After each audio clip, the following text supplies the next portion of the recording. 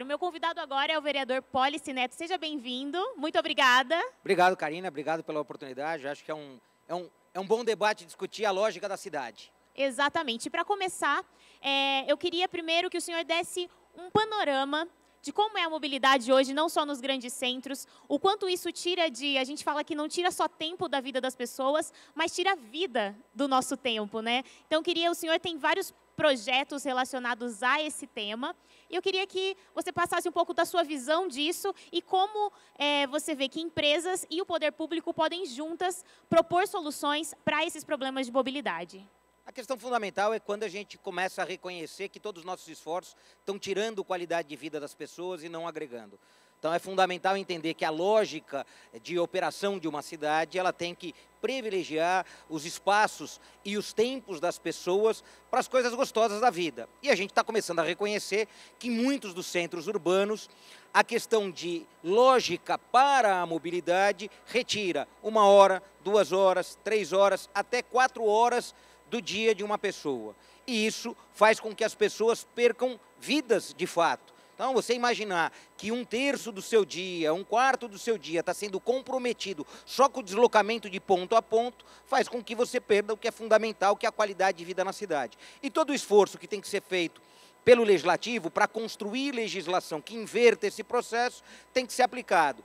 Muitas evidências têm sido apresentadas no mundo e, portanto, a partir delas, políticas públicas muito consistentes têm sido apresentadas, mas ainda no Brasil, infelizmente, a lógica de trabalhar a cidade como ciência é muito recente. Aliás, no Brasil, trabalhar com ciência para as cidades ainda é muito recente. Por sorte, a tecnologia vem trazendo muitas informações e estes dados e essas informações têm gerado um novo conhecimento. E aplicar esse novo conhecimento à cidade é fundamental para a gente resgatar tempo, vida e qualidade na cidade.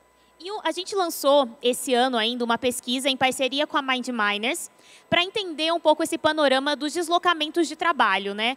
Tem um dado da WRI que 50% dos deslocamentos nos centros urbanos é do ir e vir do trabalho. E um dos dados interessantes que a gente conseguiu compilar nessa, nessa pesquisa é que 60% das pessoas disseram que as empresas nunca se preocuparam com o tempo de deslocamento delas. E isso vai ao encontro da lei de incentivo ao trabalho remoto, né? É, aqui é a gente entender um pouquinho quando nem gestor público, nem gestor privado consegue enxergar que ele não está ajudando nem a cidade, nem o seu trabalhador, portanto também não está ajudando o seu negócio. Se você começar a imaginar que você torna a vida do seu trabalhador ruim, a vida do seu cidadão ruim, nem gestor público, nem gestor privado conseguiram ajudar no bom funcionamento da cidade. O esforço que a gente foi fazer com o teletrabalho, o trabalho remoto, os modelos de home base, como você pode aproveitar espaços que a cidade já tem para reduzir as distâncias e, portanto, reduzir a obrigação de se locomover. Aqui é o que a cidade já tem oferecido, que você pode aproveitar na cidade e que você pode, primeiro, incorporar parte do investimento que já foi feito. Segundo, reduzir as distâncias e economizar para a cidade. Então, é um pouco do como todos podem ganhar juntos. Então, é um ganha, ganha, ganha. Ganha o poder público, ganha o setor privado, mas ganha essencialmente o trabalhador cidadão. Com certeza, o ganho para as pessoas, para os profissionais, é incrível na qualidade de vida, né? Já tem pesquisas que mostram que evitar esse tempo que a gente gasta em deslocamento nos torna mais produtivos, mais felizes, e isso também gera resultado para as empresas, né? É, o grande esforço aqui é mostrar para o setor público que a lógica com que ele ofereceu subsídio à geração de emprego ou financiamento ou facilitações veio nos últimos 100 anos de maneira equivocada.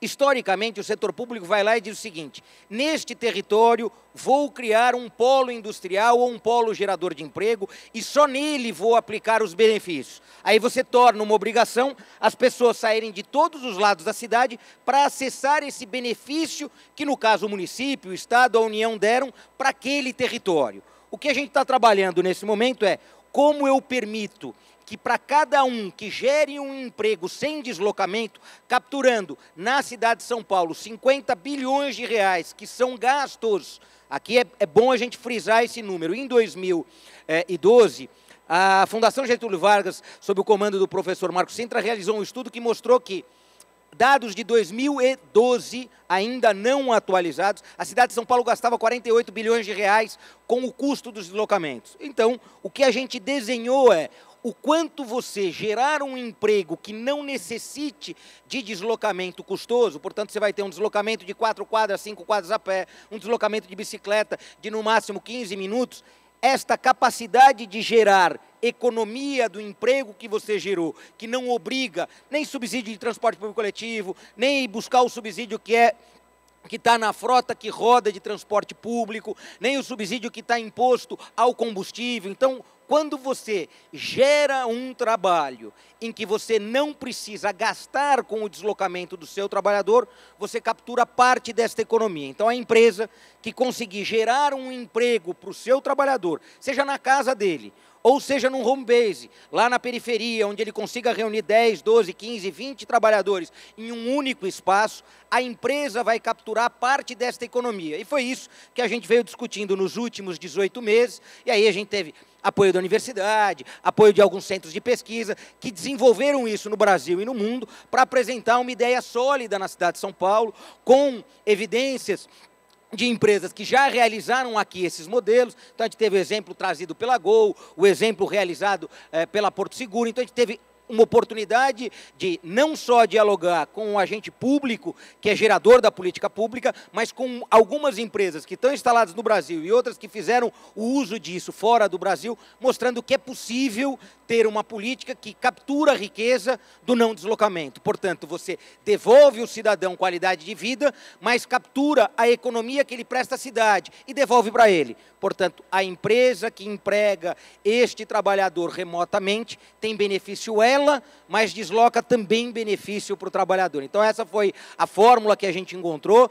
Também ela traz um conjunto de incentivos aos escritórios compartilhados. Então, a gente já anuncia que não adianta a gente ter só coworking na região central, porque você vai continuar trazendo de novo trabalhadores para uma mesma região saturada e, portanto, a gente dá um conjunto de incentivos para o modelo de coworking e, e, e home base na periferia, tentando levar este modelo de economia de compartilhamento daquilo que a gente já tem de infraestrutura instalada para outros lugares que não só a região central.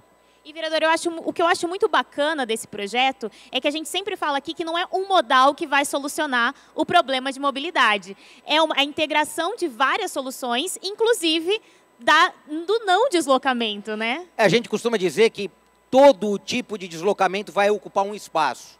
O único que não ocupa espaço é a inteligência. Então, se você souber aproveitar a sua inteligência para não precisar de um deslocamento, você está conseguindo prestar um grande serviço à cidade. Então, o esforço que a gente faz nesse momento é, primeiro, capturar essa questão desta economia que está sendo desperdiçada, esse gasto, esse custo que todo dia é jogado fora. Portanto, a gente consome, mas a gente não agrega valor em nenhum dos produtos que nascem por aí.